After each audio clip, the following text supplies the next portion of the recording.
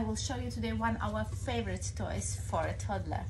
Subscribe to my channel to find more ideas on baby toys and baby products. So we have this wooden sorters here. There are different shapes and different colors and your baby has to sort them to the right balls. So this way the baby is learning all the shapes and all the colors. You can find the link to this toy in the description box.